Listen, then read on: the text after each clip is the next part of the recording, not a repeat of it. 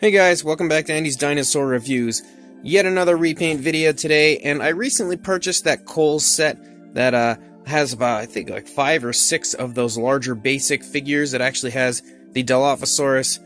two Velociraptors, the Indoraptor, Pachycephalosaurus, and an Owen, which I have absolutely no intention of repainting an Owen. But I've been slowly making my way through these figures and repainting them, and as you saw, I made the Jurassic Park 3 male Velociraptor a few days back, and now I have finally completed the Indoraptor, and I honestly just tried to repaint the Indoraptor to look like the Indoraptor from the film, because the last time I repainted an Indoraptor I kinda went crazy with the paint scheme, so this time I tried to really make it look similar to the way it looks in the film, I'm a big fan of the sculpt overall on this basic Indoraptor, and I really felt like it looks very close to what the dinosaur looks like in the actual Fallen Kingdom movie, so I felt like it was a perfect option to go ahead and apply some nice paint to this and try to make it look a little more realistic. So, again, in the comments, please let me know what you guys think, and without further ado, here is my Indoraptor repaint.